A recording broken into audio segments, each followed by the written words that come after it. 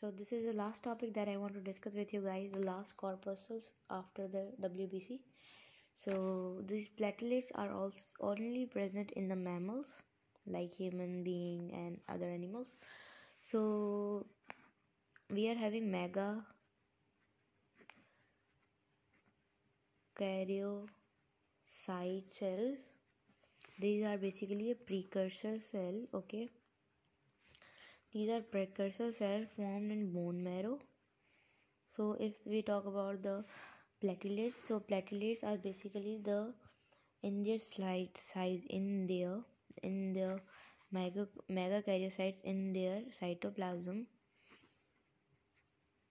The small fragments are present in the megakaryocyte cells that is called platelets okay platelets. Okay. So if we talk about the platelets so this is the platelets. Eh, platelet. Okay and this is non-nucleus. They are non-nucleated. Platelets are having no nucleus so we are calling that as a granular portion okay if we talk about the size so that is 2 to 3 micro. And if we talk about the normal platelets so that are 1.5 to 3.5 multiplied 10 power 5 micromolecule okay if we talk about the survival or, or your lifespan so that is 3 to 7 or 10 10 days of the platelets. Okay so the platelets are also having the blood clotting factors. Blood clotting factor. Okay. So we are one we are first we are having thromboplastin this is basically an enzyme that is released by the released by this platelet okay. And this is the important enzyme. Second we are having that is serotonin this is basically work in the vasoconstriction which means the narrowing of the blood vessels. Okay this is also released by the platelets when this is released when there is any kind of a injury.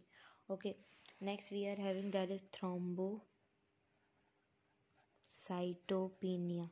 As you guys all know in the in the rbc we were having, having the erythrocytopenia which means the increasing level of the that is means the decreasing level or this type of.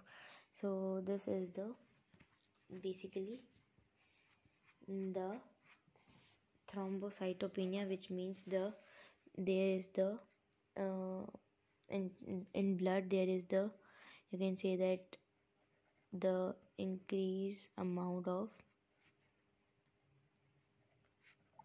platelets. So this process is called thrombocytopenia. We are having thrombocytosis which means that in blood the count of platelets is decrease okay this is called the thrombocytosis. We are having thrombocytes. What are thrombocytes? Some people say that platelets are also called thrombocytes. No thrombocytes are different. Thrombocytes is basically not present in the mammals. These are all present in all vertebrates vertebrates.